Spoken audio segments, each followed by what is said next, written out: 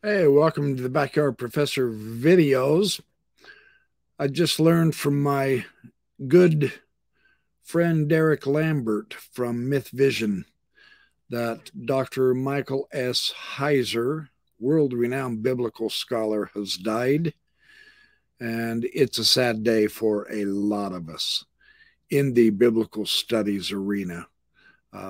What I remember most about Michael Heiser is he was kind enough when I read his debate with the Mormon scholar, the then Mormon scholar, David Bokovoy, over the Council of the Gods. And this was had in a, an, a Mormon apologetic venue called the Farms Review of Books.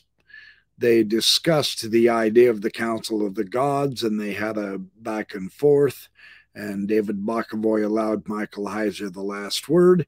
They were very gentlemanly, but they did come to different conclusions about uh, Jesus being the only begotten Son of God, etc., and how the Greek reads. But the thing I remember about Dr. Heiser the best is his enormous interest and his stellar scholarship on the Hebrew Bible and his recognition of the importance of the Hebrew language and the Jewish cultural milieu of the Old Testament.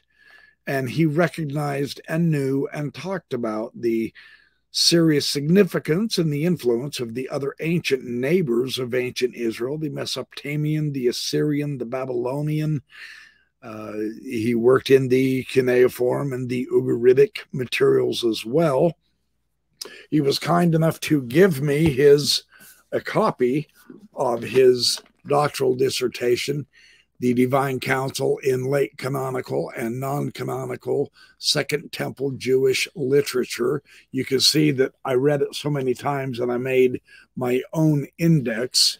He did his doctoral dissertation in 2004, and it is a huge dissertation with X extensive analysis of the Hebrew Council of the Gods and all of the places in the Hebrew literature and its influence and the meaning for the ancient Jewish prophets such as Isaiah and Jeremiah and Micah, etc., and how it affected the theology as it came down through the centuries. It's it's well over uh, 300 pages. It's a big study and then I do believe, if I'm not mistaken, that this is his last book, The Unseen Realm Recovering the Supernatural Worldview of the Bible by Michael Heiser, wherein he is discussing the, and it, from Lexham Press, and he is discussing the idea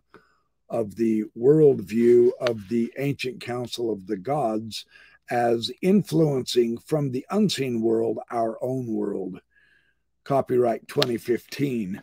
Uh, I know he just recently did an incredible documentary on this. It is to be found on YouTube, and I would highly encourage you to watch that documentary. But I didn't get to know Dr. Heiser extremely well, but I was friends with him on the phone. I had a few conversations with him.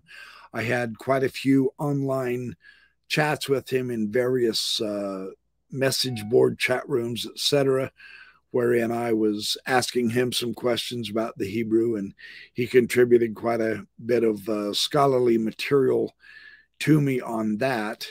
And uh, I read his his dissertation twice. I, at the time, was a Mormon apologist, and I really enjoyed his take on it, and also the take from the Mormon scholar who is no longer Mormon, interestingly enough, uh, David Bokovoy, who was also a powerhouse biblical scholar on the Council of the Gods, as is TikTok sensation Daniel McClellan, who is also a good friend of mine. I, I, don't know if I can call him a good friend, but he's a friend. I have videoed Dan McClellan years and years ago when I was at a fair conference down in Utah.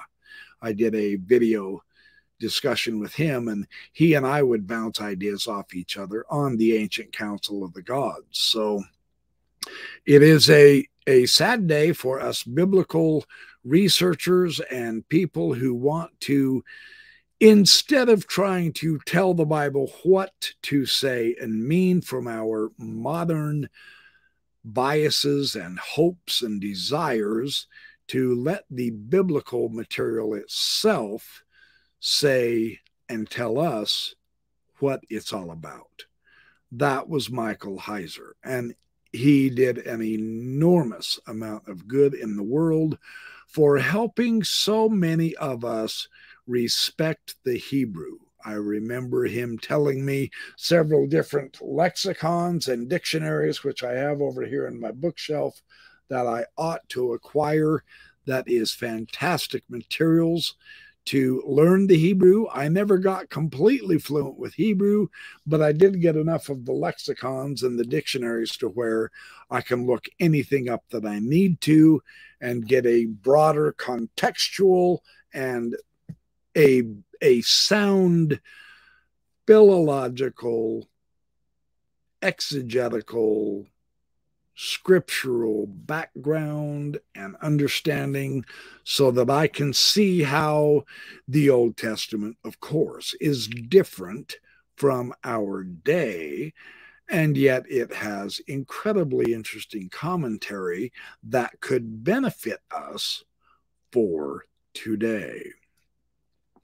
So it is with somewhat sadness and and uh, looking back on the many conversations I had with him and remembering me reading his materials that I honor Dr. Michael S. Heiser and thank him for a life very well lived. He died far too young of cancer, unfortunately. Uh, we were hoping to get much more from his mighty pen. He is on YouTube with several different uh, videos and interviews. I would highly recommend you look him up on YouTube and listen to his wisdom. Dr. Michael Heiser, thank you for all the wisdom that you shared with your bright light and keen intellect while you were here on earth. We have benefited greatly from your research and your truly opening us up to what biblical scholarship is supposed to be all about.